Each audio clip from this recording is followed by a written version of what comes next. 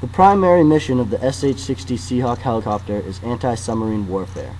Helicopters equipped with air-launched sonobuoys are used to detect submarines below the ocean surface. By deploying a network of sonobuoys, a range of several square miles at a depth of 2,000 feet can be monitored. However, current naval strategies require a second helicopter to track the submarine while the first refuels. With the Aethia, deployment of a second helicopter is unnecessary. Capable of monitoring the sonobuoy network, the Aethia allows a second SH-60 to complete a separate search mission. This method would increase efficiency by doubling search capabilities while using the same initial resources. The individual mission of the Aethia includes an aerial and water cruise segment. Secured to one of the three hardpoints on the bottom of the SH-60, the Aethia is deployed during cruise.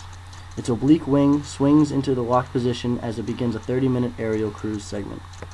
Before entering the water, the Aethia completes a flare maneuver while simultaneously a simple screw mechanism detaches the wing. After disengaging the wing, the Aethia pitches down and the propeller folds back against the fuselage for water impact. Descending to a depth of 400 feet, the Aethia completes a 30-minute underwater segment acting as a mobile sonar buoy. The Aethia completes its mission by resurfacing to transmit information.